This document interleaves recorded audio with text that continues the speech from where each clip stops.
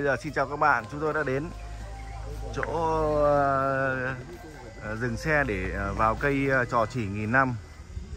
Đây, hướng đi vào cây trò chỉ bên trong này, đi lên qua đỉnh núi kia. Đây, có mấy anh nghiệp đoàn phân khối lớn cũng vào đây từ sớm này, các anh đang leo núi vào rồi.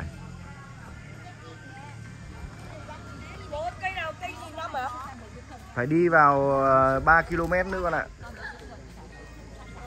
Đây. Anh Bùi Trần Hoàng Hải à, sau một hồi ngồi xe ô tô ờ, thấy mệt quá. Anh dụi mắt như thằng nghiện.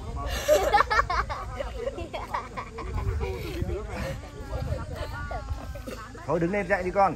Buộc lại quần và buộc lại giày dây giày đi. Con cứ tự chảy ra ấy. Thế là con ờ, bị ờ, sổ mũi rồi đấy, có khi là Covid rồi đấy.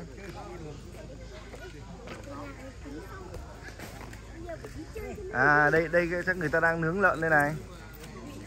À nướng vịt à? Phải nướng vịt thì chả. Chắc là không giòn đâu.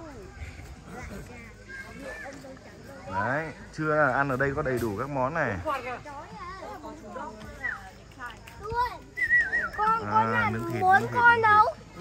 Nhưng mà là chúng gì Người ta xiên vào cái chuối để, ờ, để Đấy, giữ đang ra ờ, này, bốn con đang ra này, đấy. ui Ui. đã ăn con chó à Bốn.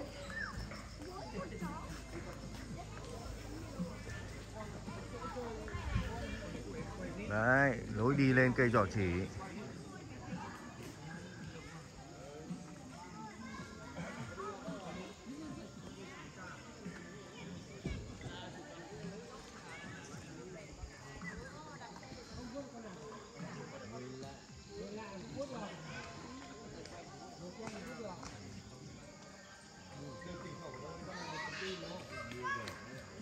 Hải ơi, đi ra đây.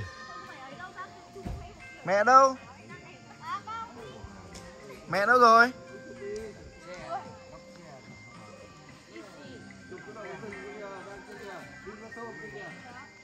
Mẹ đâu rồi, Long? À Ra xem đồ lưu niệm à. Đi thẳng người lên nào.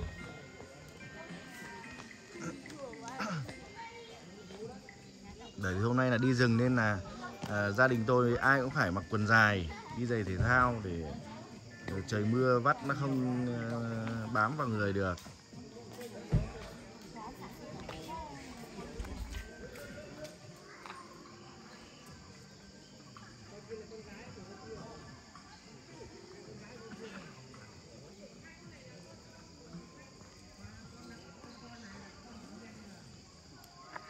Mọi người vào đây ờ, check in và chụp ảnh ờ, tự sướng rất nhiều nha.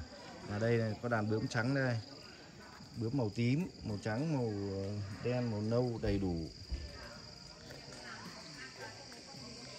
Đấy thiếu nữ Trần Thị Bích Ngà U50 vòng bụng ba số đo là ờ, 80 80 và 80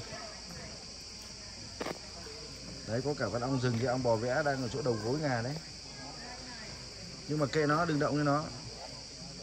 Nó không tấn công ai khi mà người ta tấn công nó cả.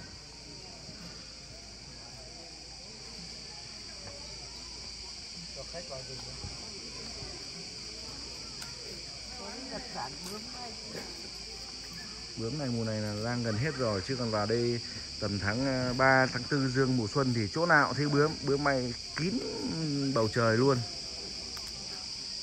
Đây Hoa hậu Bùi Trần Khánh Linh Hoa hậu thể thao kiêm người mẫu thời trang Con gái thứ hai của Trần Thị Bích Ngà Cao 1m70, nặng 56kg